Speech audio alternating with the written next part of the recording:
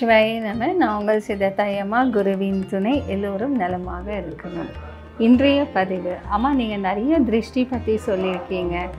ஆலம் கரைச்சி நம்ம திருஷ்டி எடுக்கிறோம் எலுமிச்சப்பழம் எடுக்கிறோம் தேங்காய் எடுக்கிறோம்.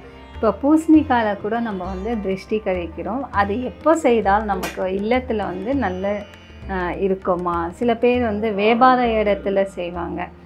என்ன செய்யணும்? பூசணிக்காய் வந்து பார்த்திங்கன்னா ஆயுத பூஜை இந்த மாதிரி விசேஷமான கிரக பிரவேசம் செய்வாங்க. அந்த டைமில் தான் வந்து பூஜை செய்வாங்க. திருஷ்டி கழிப்பாங்க. கடைசியில் வந்து அந்த வீட்டுக்கு திருஷ்டி எடுப்பாங்க. கிரகப்பிரவேசம் செய்கிறாங்க புது வீடு கட்டி அவங்க வந்து இப்போ டெமாலிஷ் பண்ணி சின்னதாக வீடு கட்டினா கூட ஒரு ஓமம் சேர்ந்து பூசணிக்காய் திருஷ்டி எடுப்பாங்க. பொதுவாக நம்ம வீட்டில் வந்து மாதத்துக்கோ ஒரு மூணு மாதத்துக்கோ எடுக்கலாமான்னு சொல்லி நிறைய பேர் வந்து கேட்டிருந்தீங்க. கண்டிப்பாக நீங்கள் பூசணிக்காயில் வந்து திருஷ்டி கழிக்கலாம். மூணு மாதத்துக்கு ஒரு முறை மூணாவது மாதம் வரக்கூடிய அமாவாசையில் நீங்கள் ஒரு நாள் திருஷ்டி கழிக்கலாம். பூசணிக்காயில் எலுமிச்சப்பழம் வந்து வாரத்துக்கு ஒரு நாள் திருஷ்டி எடுக்கலாம். உடல் பாதிப்புனால் திருஷ்டி எடுக்கலாம். ஆரத்தி வந்து வாரத்துக்கு ஒரு நாள் நீங்கள் எடுக்கலாம். தே சூர் தேங்காய் தேங்காயில் கூட திருஷ்டி கழிப்பாங்க. அது வந்து இந்த வியாபார இடத்துல ரொம்ப திருஷ்டியாக எடுத்து நிறைய ஜனம் வர்றதில்ல வசியம் இல்லைன்னா சூர் தேங்காய் வந்து வியாபார இடத்துல தான் உடைக்கணும். ஆயுத பூஜை அன்னைக்கு எலுமிச்சப்பழம் தேங்காயில் பூசணிக்காயில் மூணுத்துலேயும் எடுக்கணும். ரொம்ப நல்லது. அதே போல் பூசணிக்காயில் வீட்டில் எடுக்கக்கூடிய மூணு மாதத்துக்கு ஒரு நாள் நீங்கள் எடுக்கலாம் அமாவாசையாக இருக்கணும்.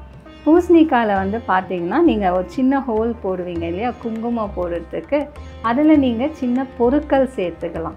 என்ன என்ன பொருட்கள்னா பார்த்தீங்கன்னா ஜாதிக்காய் ஒன்று போடுங்க மாசிக்காய் ஒன்று போடுங்க வசம்பு ஒன்று போடுங்க பிறகு நல்ல குங்குமம் கைப்பிடி நிறைய போடுங்க ஒரே ஒரு காயின் போடுங்க. அதற்கு பிறகு வேப்ப மை நான் சொல்லியிருக்கேன் வேப்ப இலையை நல்லா காய வச்சுட்டு அது மேலே ஒரு பச்சை கற்பூரம் வச்சு நல்லா விபூதி மாதிரி பஸ்மம் செய்து மை செஞ்சு வச்சுக்கோங்கன்னு. அதை நீங்கள் என்ன செய்யணும்? ஒரு எலுமிச்சப்பழம் எடுத்து அந்த மையை வந்து அந்த எலுமிச்சப்பழம் முழுமையாக தடுவிடுங்க. கருப்பு வெள்ளை சிகப்பு மூணு எலுமிச்சப்பழம் எடுத்துக்கணும். ஒன்று வந்து முழுமையாக கருப்பு வேப்ப மை தடவிடணும். இன்னொன்று வந்து விபூதியை தண்ணியில் கரைச்சி அதை நல்லா எலுமிச்சை பழத்தில் நல்லா நீங்கள் தடுவிட்டிங்கன்னா வெள்ளையாக மாறும்.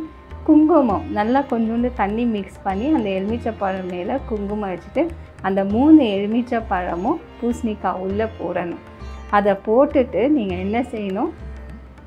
நல்லா வேண்டிட்டு திருஷ்டி கழியணும்னு சொல்லி அந்த பூசணிக்காய் சின்ன பீஸ் கட் பண்ணுறீங்க இல்லையா? அது மேலே மூடிடுங்க.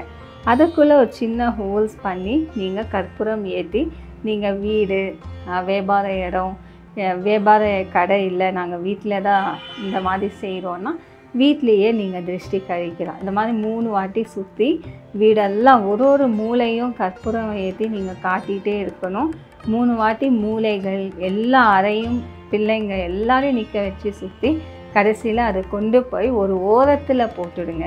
ஓரத்தில் நல்லா உடைச்சிடுங்க.